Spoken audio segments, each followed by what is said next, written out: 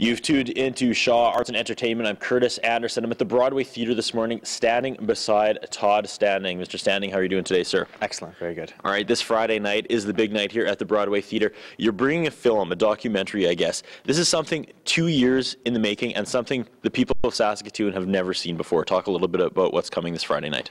Uh, well, this is a, a, world premiere. I just went back to Edmonton. We did a whole bunch of revamping. We got some new interviews with this one. And uh, the big thing is the, uh, the Bigfoot footage that I've shot, uh, the uh, famous video 3 that no one's ever seen before.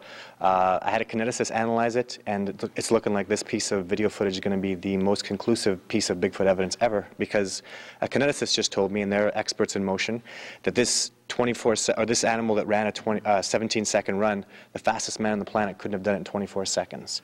So Obviously, there's people out there, unfortunately, they're going to be skeptical of this. So what do you say about that? What, do you say come out Friday and see for yourself? Well, you know what? If you really want uh, Bigfoot to be proven as a species, I have to get protection for these animals first before I can reveal my scientific findings. So come out. Maybe you'll be, be a believer, maybe you won't, but uh, have a look at my petition, think about signing it. And what I'm going to do is this year, I'm going to go shoot another video. I'm going to come back with DNA evidence. I'm going to go out with uh, some famous anchor from whatever news station will come with me, hopefully CNN or NBC, something big like that. I'm not saying believe me.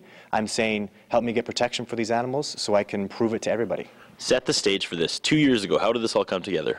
Uh, well, it's on my website, sylvanic.com. I had uh, a friend of mine had an incident where his dog was killed in this region, and then I just started studying native folklore, working with the First Nations people, working with a brilliant biologist from the U.S. who's been studying this for 15 years.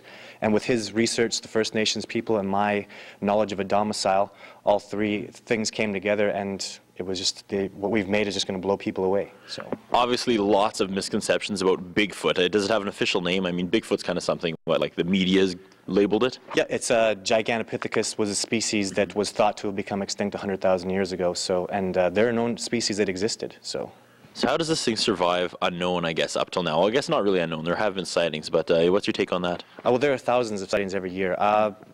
Once once people once I show them what what they've been doing, like they live in communities, they're absolutely evasive of people. Uh, I believe there's significantly more to it, but until we can actually get close enough to these animals to study them, all I've get, got is glimpses. I get within maybe 20 yards, which no one's ever done. Mm. 20 yards of what we call the day watchers. I've never been to the main group, but uh, I need to get uh, I need to turn this over to forestry officers. I need to turn this over to the proper scientists to do the proper study of it. But it's going to take time to get those kind of implementations made because this isn't a myth. This is real. Mm. I was reading your press release here, and it sounds like there's a pretty big message attached to this video that you want to get out there. Well, uh, the body of a Bigfoot, like as soon as somebody has a Bigfoot sighting, uh, Bigfoot hunters show up because the body's worth millions, and you right. can execute one of these animals. You'd be a millionaire, you'd be world famous, and there's no ramifications for it. No one will do anything to protect these, this species at all. So that's why I can't reveal my findings because the first thing that will happen is these animals will just be summarily executed, and it's going to take probably a year, maybe two, before any kind of protection for them exists. So this is going to be a process that it has to transpire. There's no other way around it. There's three showings here this Friday night. $5 cover and all money raised goes to the SPCA, is that correct? Right. To your Saskatoon SPCA. This is about animal rights protection, so uh, that's what we're doing. We're taking this on tour. We're giving all the money to every local SPCA. So, and I'm very motivated to pack this theater because I want to give your SPCA a huge check at the end of the day. So.